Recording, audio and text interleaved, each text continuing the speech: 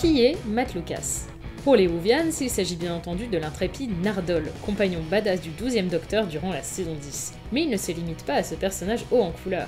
Au départ, Matthew Lucas est un Anglais né le 5 mars 1974 à Paddington. Et comme tous les enfants, le jeune Matt aime bien s'amuser, mais aussi regarder la télé. Y a-t-il un programme qu'il aime tout particulièrement? I the Muppets when I'm years old, and when I grow up, I want to be a Muppet myself. Pendant les années 90, après des études de théâtre, Matt se spécialise dans la comédie avant de connaître un immense succès avec la série à sketch Little Britain, à l'origine à la radio, puis à partir de 2003 à la télé et même sur scène. Matt y interprète des personnages variés et hauts en couleur, du gay homophobe David à la peu pudique Bubbles.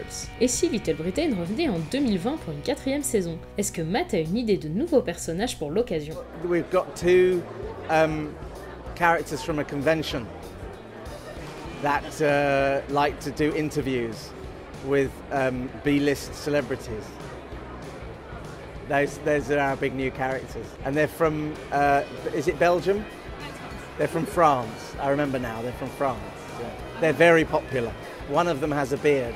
Depuis Little Britain, Matt a enchaîné de nombreux rôles, souvent en tant que guest, dont Toby le fanboy dans Community, Tweedledee et Tweedledum dans les films Alice de Tim Burton, ou encore Nardole, un compagnon de Riversong dans Doctor Who, qui finira par devenir un compagnon du Docteur lors de la saison 10. Matt a eu le temps d'accumuler de nombreux souvenirs sur le plateau, mais certains furent plus marquants que d'autres. My favourite memories on set uh, as Nardole.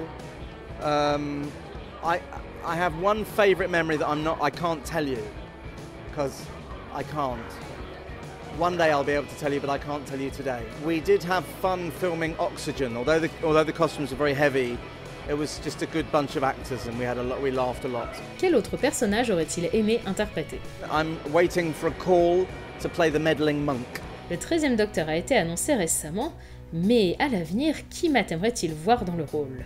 Um, played by an Afghan hound, very talented.